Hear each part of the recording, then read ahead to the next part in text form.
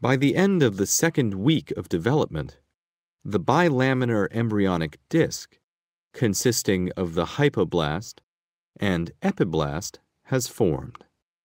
Throughout the third week of development, this bilaminar disc differentiates to establish three primary germ layers in a process known as gastrulation. Around 15 days after fertilization, a thickened structure forms along the midline in the epiblast near the caudal end of the bilaminar embryonic disc. This is called the primitive streak.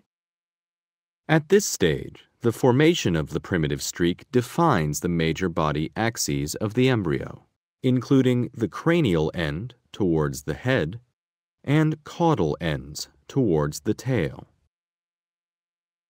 as well as the left and right sides of the embryo.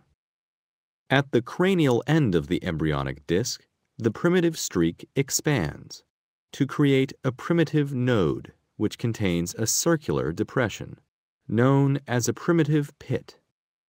This depression continues along the midline of the epiblast towards the caudal end of the streak, forming a primitive groove. Once formed, cells of the epiblast migrate inwards towards the streak, detach from the epiblast, and slip beneath it into the interior of the embryo.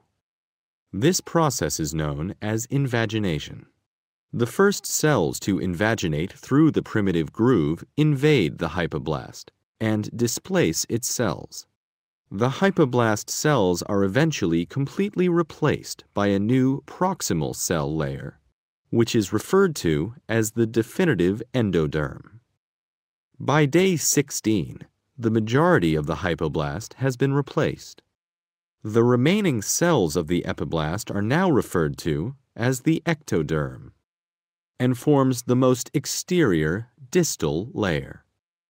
Some of the invaginated epiblast cells remain in the space between the ectoderm and newly formed definitive endoderm.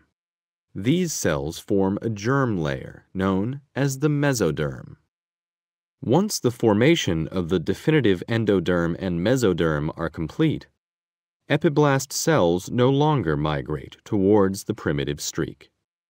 Throughout gastrulation, the ectoderm continues to form from the cranial to the caudal end of the embryo establishing three distinct primary germ layers throughout the whole embryonic disc.